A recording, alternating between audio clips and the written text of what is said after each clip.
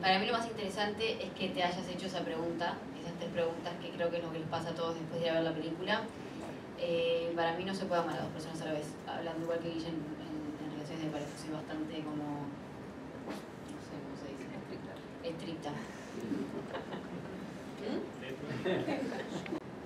Sí, por supuesto que sí, o sea, partiendo por, por, tu familia, el Día de la Madre y todas esas cosas. ¿no? Pero yo creo que son, son preguntas que, que inquietan, son, son preguntas que, que, que, mueven la estantería, como dicen acá, que, que te complican, que te incomodan y es un poco la manera que, que pretende la película de generar eh, un llamado a atención también, ¿verdad? Eh, pero claro, yo creo que todos o cada uno de nosotros tenemos una opinión sobre eso en, lo personal, pero claro, yo te puedo hablar desde más desde el personaje.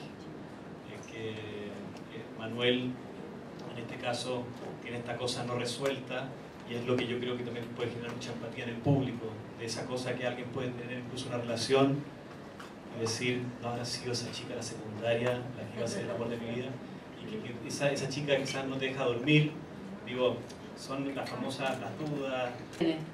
Eh, estoy hablando de relaciones de, ¿no? de pareja. Eh, ese es mi pensamiento y el de, Laura. Ahí nos unimos.